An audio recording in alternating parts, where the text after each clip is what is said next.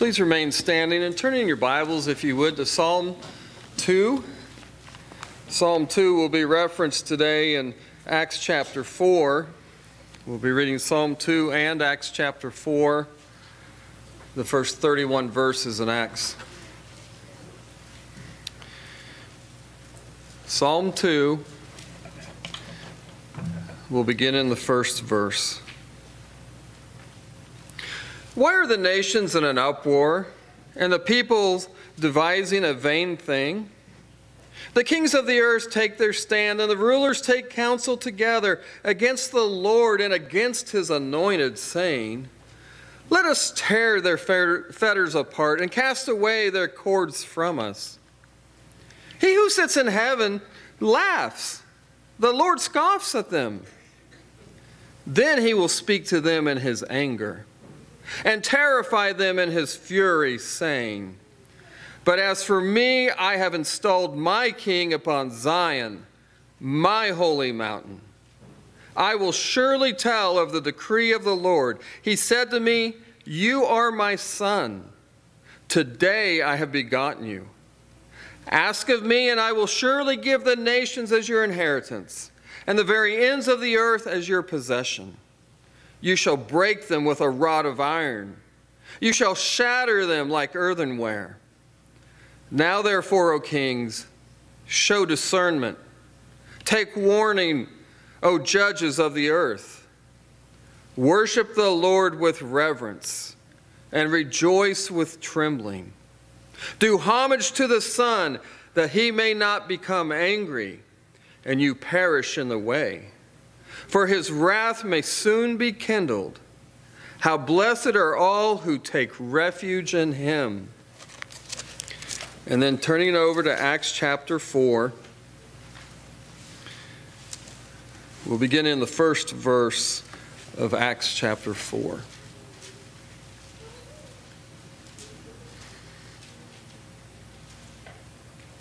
As they were speaking to the people, the priests and the captain of the guard of the temple guard and the Sadducees came up to them, being greatly disturbed because they were teaching the people and proclaiming in Jesus the resurrection from the dead. And they laid hands on them and put them in jail until the next day, for it was already evening. But many of those who heard the message believed, and the number of the men came to be about 5,000. On the next day, their rulers and elders and scribes were gathered together in Jerusalem. And Annas the high priest was there, and Caiaphas and John and Alexander, and all who were of high priestly descent. When they had placed them in the center, they began to inquire, By what power or in what name have you done this? Then Peter, filled with the Holy Spirit, said to them, rulers and elders of the people. If we are on trial today for a benefit done to a sick man, as to how this man has been made well, let it be known to all of you and to all the people of Israel that by the name of Jesus Christ the Nazarene, whom you crucified, whom God raised from the dead, by this name, this man stands here before you in good health. He is the stone which was rejected by you, the builders, but which became the chief cornerstone. And there is salvation in no one else, for there is no other name under heaven that has been given among men by which we must be saved. Now, as they observed the confidence of Peter and John and understood that they were uneducated and untrained men, they were amazed and began to recognize them as having been with Jesus. And seeing the man who had been healed standing with them, they had nothing to say in reply. But when they had ordered them to leave the council, they began to confer with one another, saying, What shall we do with these men? For the fact that a noteworthy miracle has taken place through them is apparent to all who live in Jerusalem, and we cannot deny it. But so that it will not spread any further among the people, let us warn them to speak no longer to any man in this name. And when they had summoned them, they commanded them not to speak or teach at all in the name of Jesus. But Peter and John answered and said to them, Whether it is right in the sight of God to give heed to you rather than to God, you be the judge. For we cannot stop speaking about what we have seen and heard. When they had threatened them further, they let them go, finding no basis on which to punish them, on account of the people, because they were all glorifying God for what had happened. For the man was more than 40 years old on whom this miracle of healing had been performed. When they had been released, they went, went to their own companions and reported all that the chief priests and elders had said to them. And when they heard this, they lifted their voices to God with one accord and said, O Lord, it is you who made the heaven and the earth and the sea and all that is in them, who by the Holy Spirit, through the mouth of our father David, your servant, said, Why did the Gentiles rage and the peoples devise futile things? The kings of the earth took their stand, and the rulers were gathered together against the Lord and against his Christ. For truly in this city there were gathered together against your holy servant Jesus, whom you anointed, both Herod and Pontius Pilate, and all the Gentiles and the peoples of Israel, to do whatever your hand and your purpose predestined to occur. And now, Lord, take note of their threats, and grant that your bondservants may speak your word with all confidence while you extend your hand to heal and signs and wonders take place through the name of your holy servant Jesus. And when they had prayed, the place where they had gathered together was shaken, and they were all filled with the Holy Spirit and began to speak the word of God with boldness. The grass withers and the flower fades. The Please be seated, children are invited to Children's Church at this time.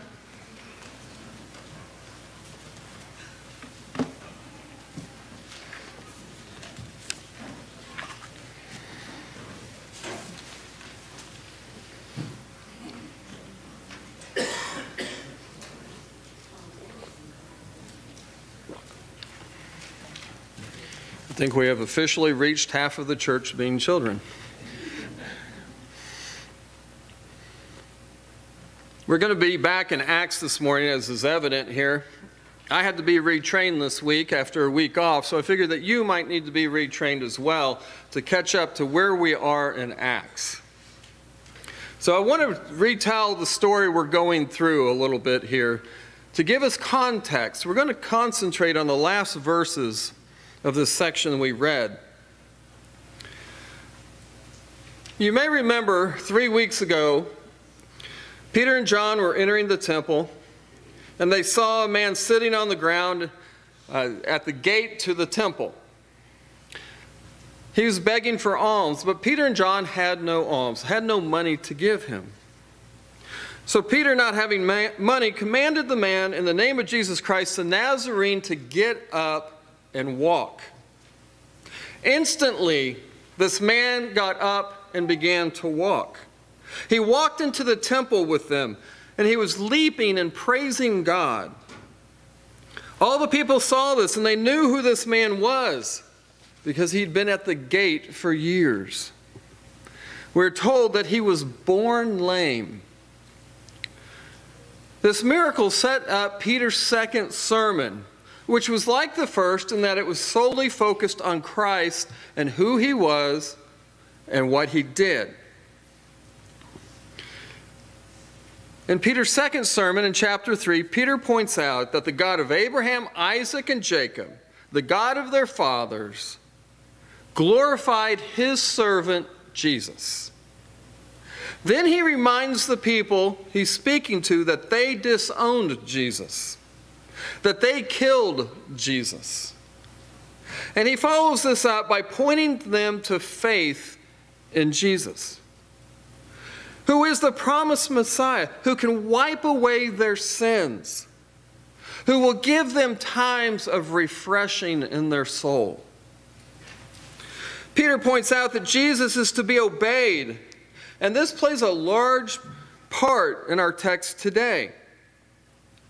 What Peter has done in his first two sermons is to point out that Jesus is the promised Messiah. In doing this, Peter is setting up a whole new way of approaching God. The temple is old, it's in the past, it's pre Messianic. Christ is the fulfillment of the temple. He is the way to God. He is the mediator between God and man. He is the one who takes us into the throne room of God. What we will see today is the battle lines are being drawn between those who hold to the temple and the old ways, the old religious leaders. They're loyal to what they have, versus Jesus and the fulfillment of the temple and his appointment of new leaders, the 12 apostles. This battle will lead to the persecution of the church. As the church ramps up and takes off in its size and its influence as God does his work on earth. And so, what we learn as we look at this history is that because Jesus uses us to build his kingdom, we must proclaim him. And as we do this, we must remember who God is, who we are, and our need for God's grace.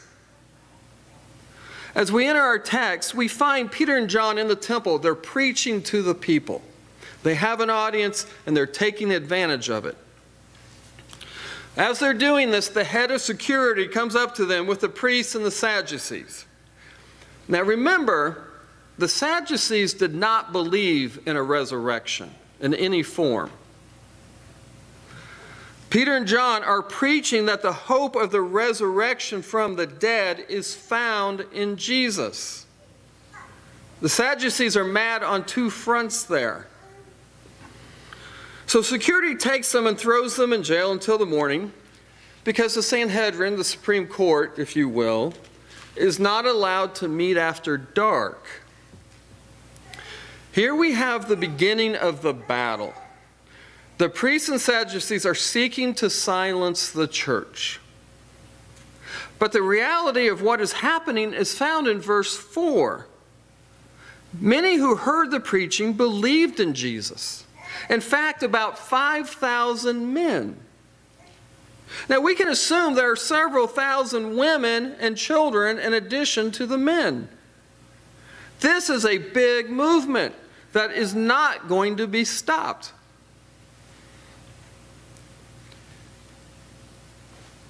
Remember who is in charge of the church Jesus, the Son of God.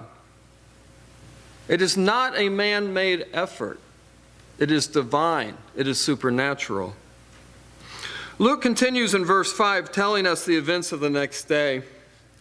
He tells us that Ananias, the high priest, and Caiaphas, John and Alexander, they're all present. You have to think about this context, historical context. In John 18, we were told that Annas and Caiaphas were at Jesus' trial. That's not very long ago. The room that they go in to have this trial would have been set up in a semicircle with 71 people of the Sanhedrin in their seats as the authorities. And Peter and John are brought to stand in the center before these 71 men highly respected in culture. All these men, these authorities want to know is by what power or in what name have you done this? We're told that Peter was filled with the Holy Spirit.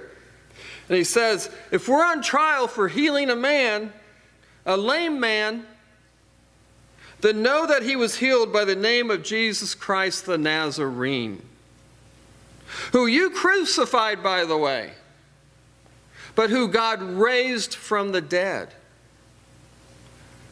Right in the face of the Sadducees. Jesus' name is why this man is healthy. Then he tells the Sanhedrin, He is the stone which was rejected by you, the builders, but which became the chief cornerstone. Again, Peter references prophecy. We've seen this over and over in his sermons to show that Jesus is the fulfillment of it. And he concludes with this definitive statement. He's laying down the law, if you will. And there is no salvation, and there's salvation in no one else, for there is no other name under heaven that has been given among men by which we must be saved. Peter is unequivocally saying who Jesus is. He is the only way to God, not your temple. He is the only way to be saved, not your lambs you're sacrificing. This is Peter and John's absolute position. Peter is pointing everyone to Jesus and what he did. Now, verses 13 to 22, they tell us about the internal uh, deliberations of the Sanhedrin. Sanhedrin begins to remember that Peter and John, well, they were with Jesus. Then they see the man who's been healed. What are they going to say? He wasn't healed? Jesus didn't heal you? Everyone knew the man. So they dismiss Peter and John. They realize they can't dismiss this miracle. It's a problem. So they decide to bring Peter and John in to warn them to no longer speak in the name of Jesus. They're basically bringing them in and using intimidation. So they warn Peter and John accordingly. In verse 19, we read, Whether it is right in the sight of God to heed to you rather than to God, you be the judge. For we cannot stop speaking about what we have seen and heard. With this bold statement, Peter and John are defeating the Sanhedrin. The people are on their side. They're glorifying God because of what has happened in this miracle. Now look at verse 23. When they had been released, they went to their own companions and reported all that the chief priests and elders had said to them. They went to their own people. We're seeing the split. There's two sides. There's the religious leaders and there's the church, Peter and John's own people. When the church heard Peter and John's report, they lifted their voices as one to God. Now, Luke records for us the prayer of the disciples, and it gives us great instruction. This is something we need to be remembered of constantly. Their prayer starts in verse 24. O Lord, it is you who made the heavens and the earth and the sea and all that is in them. Look at how they are teaching their hearts, how they are focusing their minds. Peter and John had just stood before the Supreme Court of Israel the court that had put Jesus to death. They'd done so with boldness because they knew this to be true. They served the God of the universe, the very God who had made the heavens and the earth and the sea and all that is in them. When we focus ourselves on God and who He is, we are strengthened. We are encouraged. We are given hope. Peter and John could preach Jesus because they knew that God had exalted him to heaven. He was at God's right hand in heaven. They knew that God the Father had accepted the sacrifice of Jesus. They knew that God the Father was in control of all things, all events, and definitely in control of what would happen to them as they proclaimed Jesus. So they continued in their prayer. In verse 25, who by the Holy Spirit, through the mouth of our father David, your servant, said, Why do the Gentiles rage, and the peoples devise futile things? The kings of the earth took their stands, and the rulers were gathered together against the Lord and against his Christ.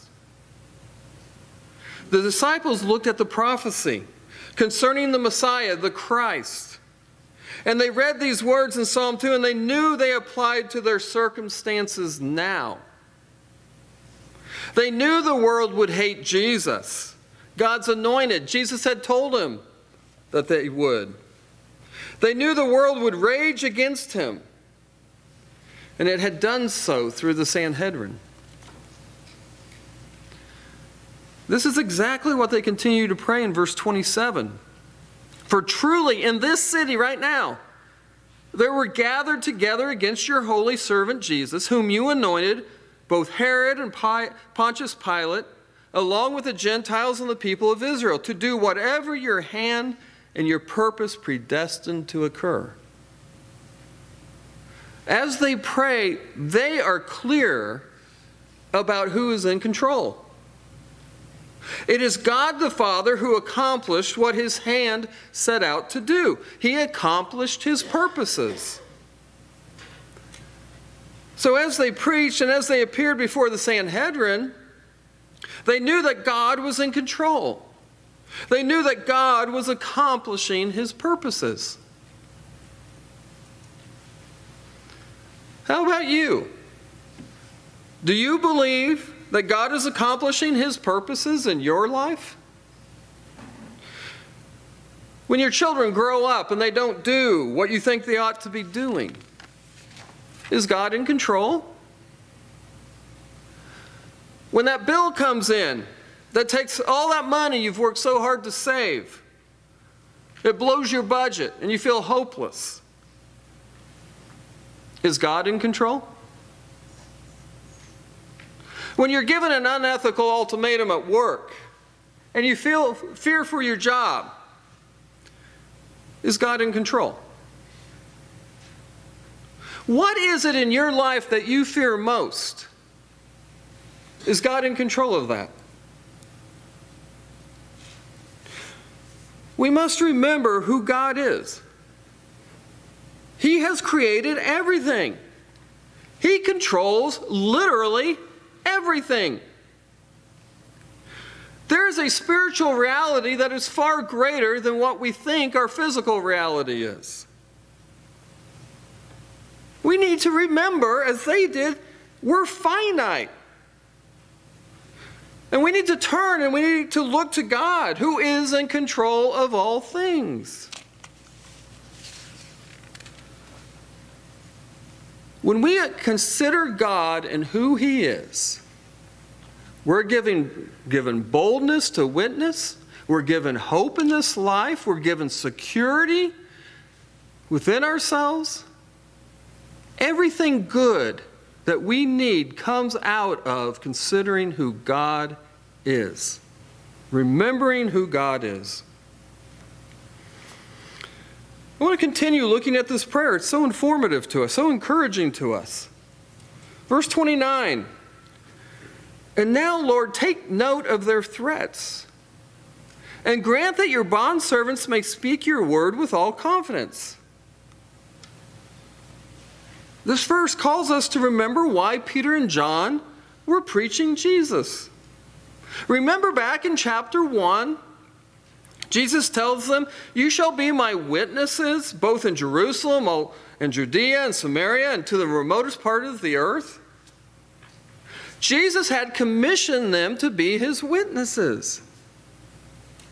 They were witnessing to the Jews, they were telling the truth of who Jesus is what the Jews had done to him, and the need to repent, to turn to Jesus. This is who Jesus had made them. Jesus had told them to do this. So they were being obedient to his command. Now, in the midst of their obedience, they're being attacked. They're being attacked by the Supreme Court. So they turn to God first and acknowledge who He is, and then they say, Take note of their threats. They're saying, God, look down and see. God, look down and pay attention to what's going on here. But secondly, they say, Grant that your bondservants may speak your word with all confidence. Notice they call themselves bondservants. They consider themselves to be slaves of Christ and of his gospel. They ask that God might help them to speak his word, his truth with confidence. But more than that, you know what's more striking here? What they don't say, what they don't ask for. They don't ask for those things I would be asking for. They don't ask God, protect us from suffering. Please make the road easy for us. They don't ask Him to change their circumstances. They only ask Him to be with them and to strengthen them. To strengthen them with confidence, to give them boldness. Remember, Paul, he asked the church to pray that he would be bold in presenting the gospel. You see, the world is God's problem.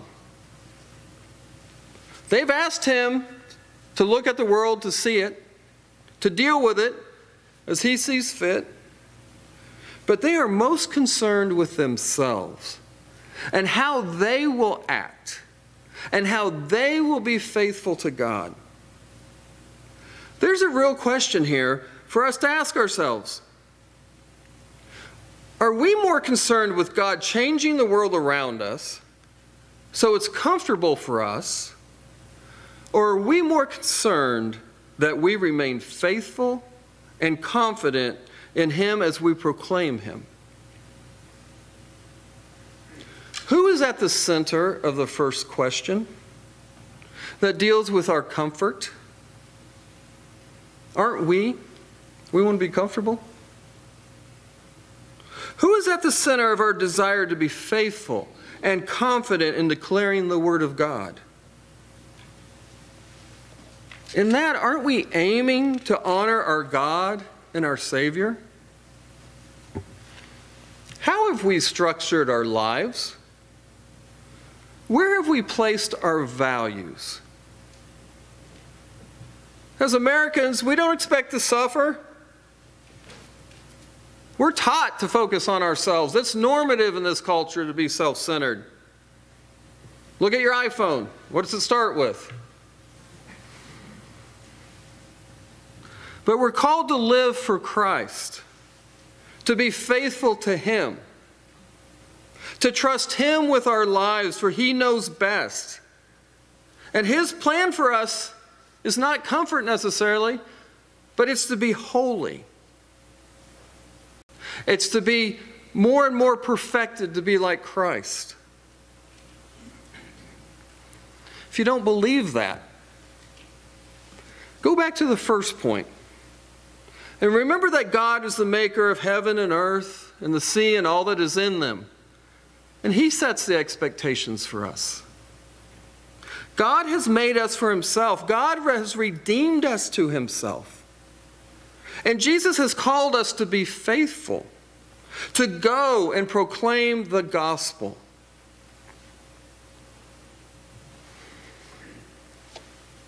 Now, I touched on the grace of God in the last point, but this prayer continues with a definite request for God's grace. Look at verse 30 with me.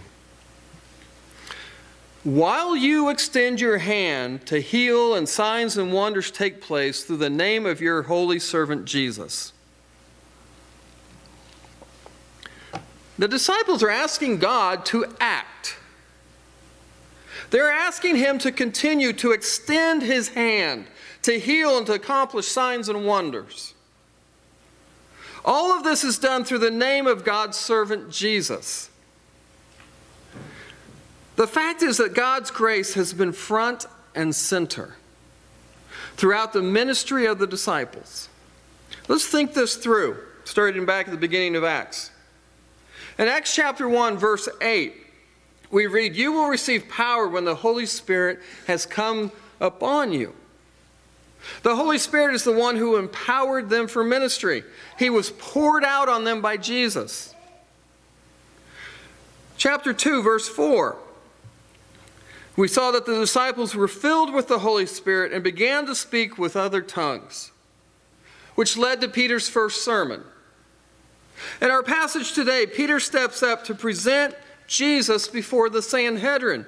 And we read, Then Peter, filled with the Holy Spirit, said to them, The power and grace of the Holy Spirit is what they seek from God. And it's what God gave them. Look at verse 31. And when they had prayed, the place where they gathered together was shaken, and they were filled with the Holy Spirit and began to speak the word of God with boldness. Here we see God fulfilling their request and giving them boldness. He also sent an earthquake that let them know of His good pleasure. His good pleasure with their prayer, with their behavior. It's not common for God to give earthquakes nowadays. But has God shaken your world as He has accomplished things for you in the past? Are there times where you just stood there amazed at what God had done for you? Where you think to yourself, God is obviously with me, He's with us. Have you prayed for God to give you boldness? and felt his presence with you as you stepped out in faith? Do you realize your dependence on God and his power to accomplish ministry in his name? How many of you Sunday school teachers, children's church teachers, enter your class each week thinking, if God doesn't act, I am dead? The class will get nothing from what I've prepared. How often do you think, as you seek to witness, if God doesn't use my words and, and power, then nothing will happen? What about disciplining your children? Do you think if God doesn't change his or her heart through my instruction, nothing's going to happen? The church of Acts knew her vulnerability and she sought God's grace and God's power. Do you realize? Do you see your vulnerability, your finitude? Do you seek God's grace and His power? We've managed to raise a generation of anxious kids. You can read about it everywhere. You can see it as you engage with them. But you know what? They're not the only anxious ones. Anxiety runs through our culture. What is the cure for this anxiety? Is it not to see God for who He is? To understand His magnitude, His power, His sovereignty, His goodness to us? Isn't it to remember who He has made us, His people? who are changed to changed and they're charged to represent him well. His people who he empowers through his spirit, giving us boldness, giving us confidence, making us useful and successful in ministry. May we consider who God is. May we consider who he's made us. Can we May we consider the grace that we depend on that He so freely gives us. May we understand that Jesus uses us to build His kingdom. And may we proclaim Him in the boldness that He gives us. Let's pray. Father, this passage is so rich, so fertile for our spiritual lives. We thank you for the reminder. We thank you for the direction, the path of this prayer, to remember who you are, to consider your greatness, your holiness, your reign, to consider that you have called us not only to be your people, but you have called us to represent you to a dark and fallen world. May we strive by your grace to be faithful. We ask you to pour out your grace on us. Give us boldness, give us confidence as we go forward in the name of Jesus. We pray this in Jesus' name. Amen.